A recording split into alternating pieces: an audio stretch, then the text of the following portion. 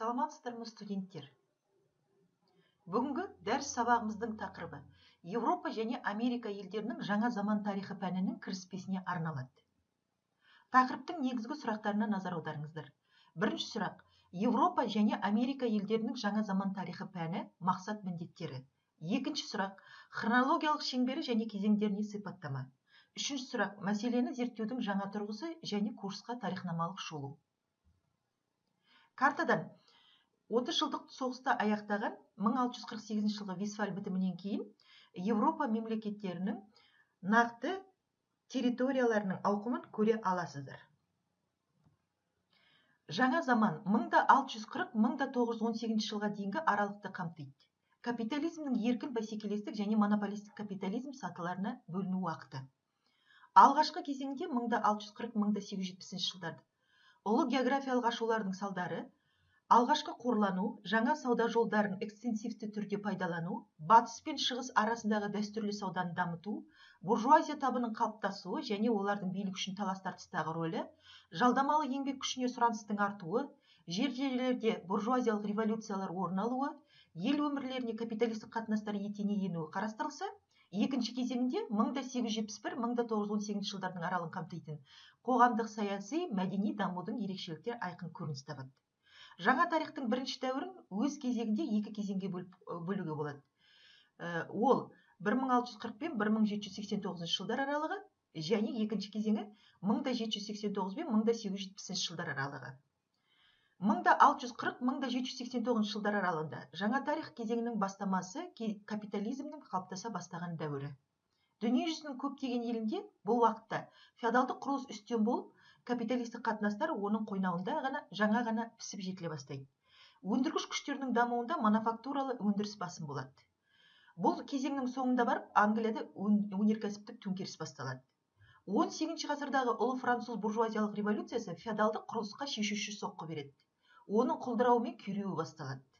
Ал 1789 бен 1870 жылдар аралығында капитализм орнығу уақыты болды. Өндіргіш күштердің дамуында қол еңбегінен машиналы еңбекке мануфактурадан фабрикаға көшу жүреді.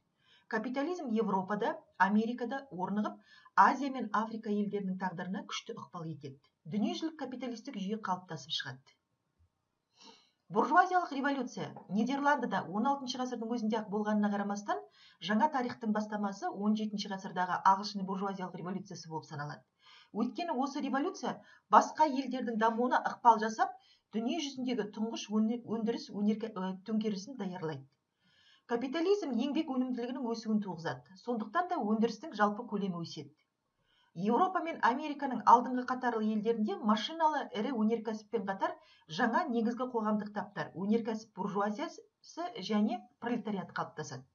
Олардың арасында кескілескен тап күресі өрши бастайды.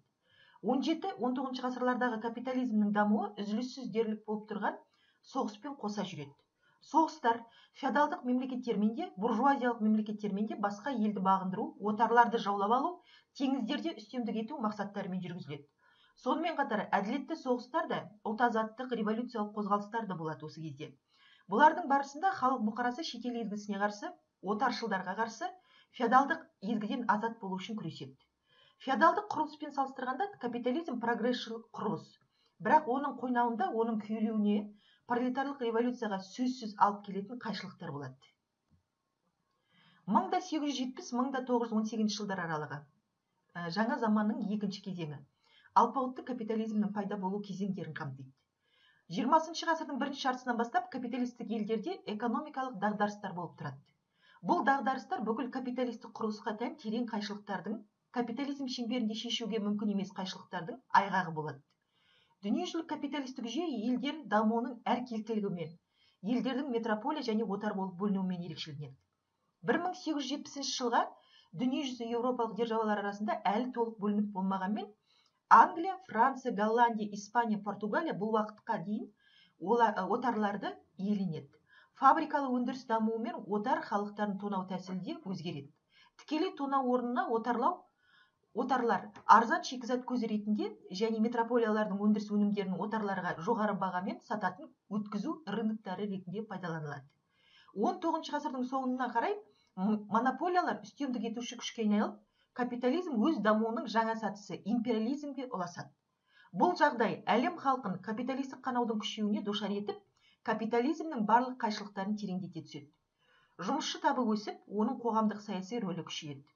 Бір мың да сегіз жүз жетпіс бірінші жылы париж коммунасы жеңіліске ұшырайды. Бірақ ол буржуазия үкіметін жұмысшы табының ә, үкіметімен алмастыру мүмкіндігін ә, дәлелдейді. Ә, жаңа тарихқа қатысты ғалымдардың да өз көзқарастары болды. Юрий германович акимов жаңа тарих туралы былай дейді.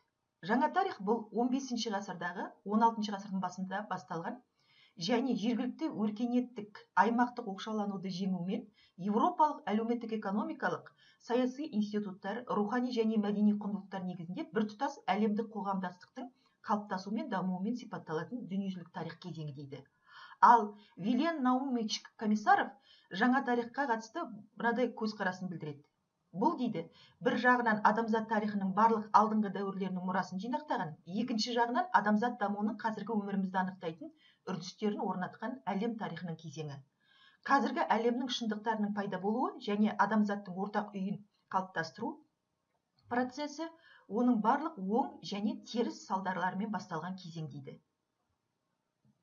Жаңа тарихты былай да кезеңдеуге болады. Бірінші 15 ғасырдың соңынан 18 ғасырдың соңына дейін ерте жаңа заман екінші 18 ғасырдан 19 ғасырдың 60 жылдарының соңы аралығына дамыған капитализм.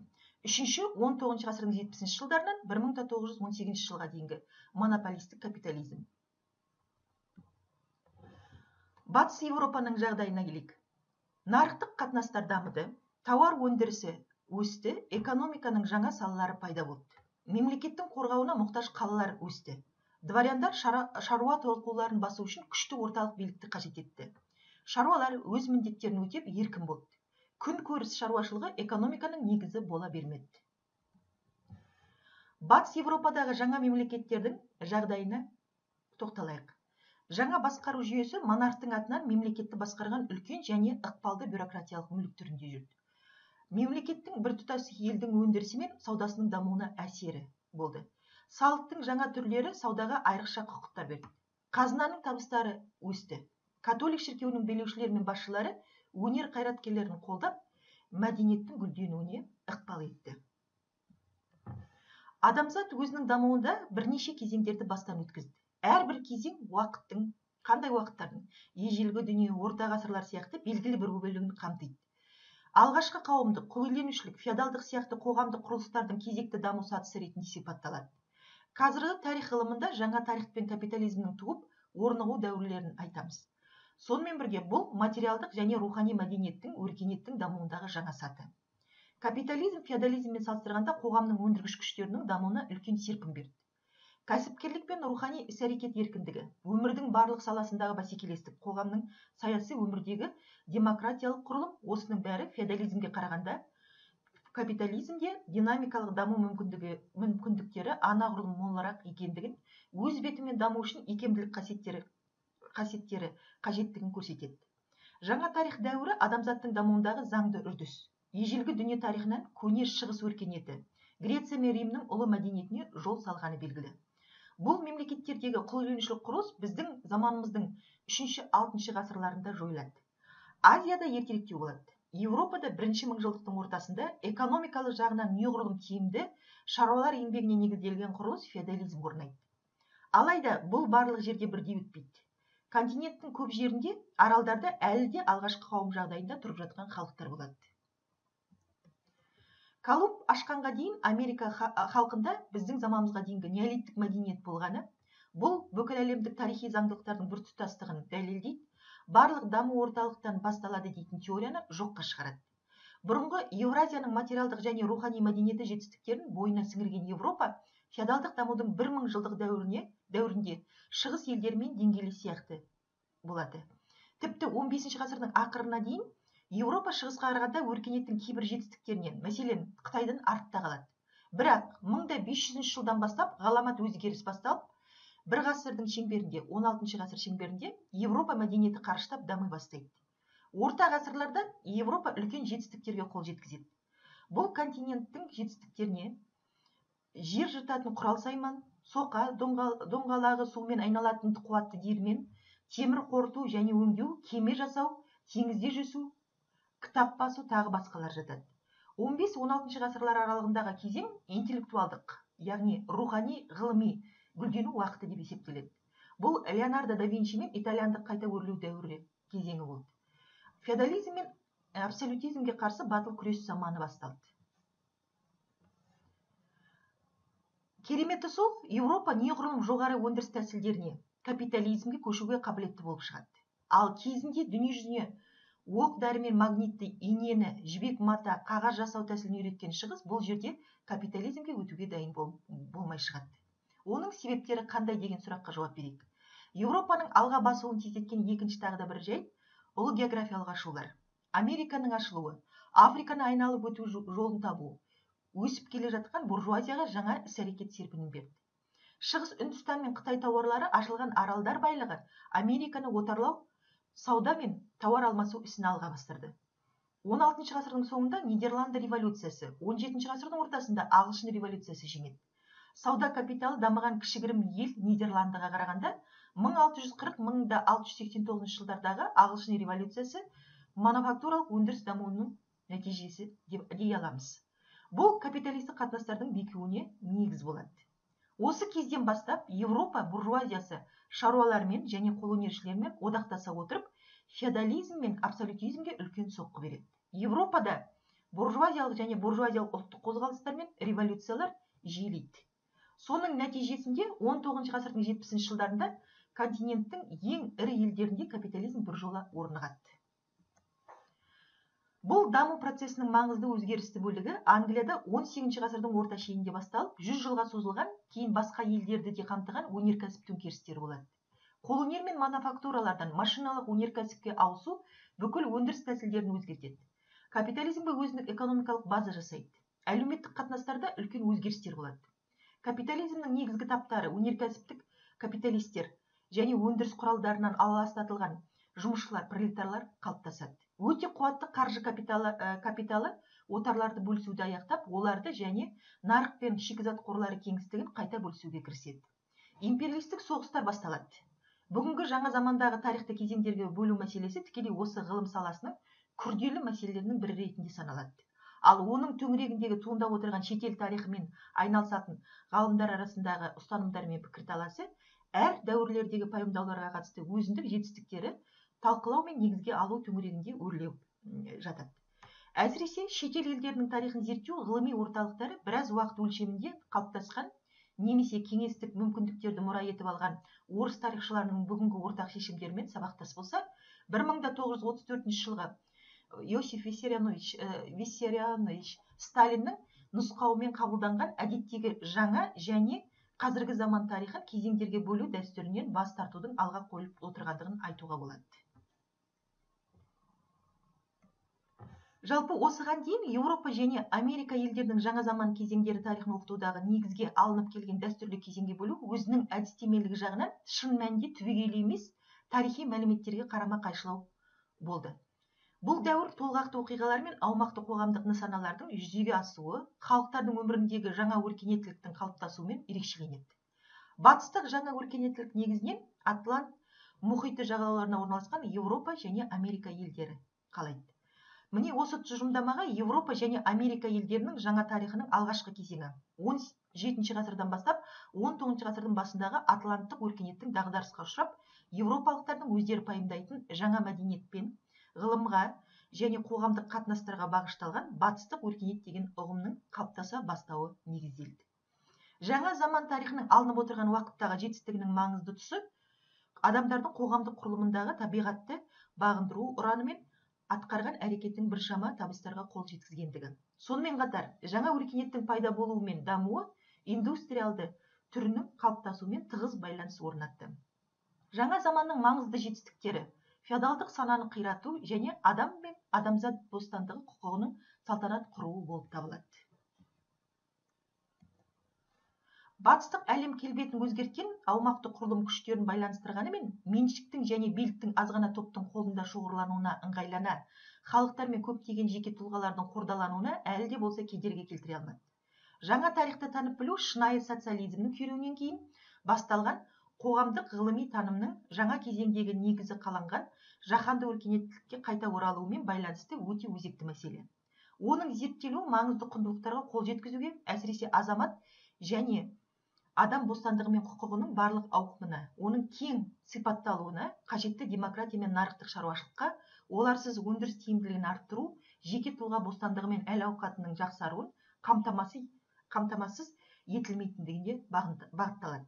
Мұндай құндылыққа қол жеткізу үшін жаңа заманға әртүрлі идеологиялық кертартпалықтардан таза тәсілдермен қарау қажет. Тарихтың кезеңге бөлініп қарастырылуының сұранысы туған тұстағы оның шындығын ашуды мақсат тұтқан пікірталас ауқымы кең. Ол тарихшылармен бірге қоғамтану ғылымдарының басқа да өкілдерімен қатар экономистерді де толғандырады. Тарихшылардың көбісі 15-16 ғасырлардағы ұлы географиялық ашулармен ренессанс және реформация дәуірінен жаңа кезеңді бастағанды жөн дейді. Бүгінгі заман кезеңіндегі өркениеттілік ұғымының ара салмағын түсіну мен оның жалпы танымдық дамуы объектісі жаңа заманнан қалыптасқан нақты анықтамаларға ие. Тарихты зерттеу әрқашан сұрыпталған жаңа теориялы әдістемелік тәсілдерге сүйенуді қажет етеді. Өйткені тарихтың нақты танымдылығын жете меңгеруге қол жеткізбейінше кезеңге бөлу мәселесін түсіну мүмкін емес. Жиырмасыншы ғасырдың басындағы ұлтшылдық бағыттағы батыс тарихшыларының зерттеу әдістемесіне келер болсақ олардың кез келген ғасырлық мәселелер жиынтығын оның өркениеттік жетістіктеріне қарай салалық сипаттамасы деңгейінде қарау тәсілдеріне сүйенетінін көруге болады. Көптеген онжылдықтар көлемінде ксро да жаңа заманды оқып үйрену және тану капиталистік информация жөніндегі маркстік лениндік пайымдауларға сүйенетін міндетті бағдарға сай жүргізілгені айтылып өтті.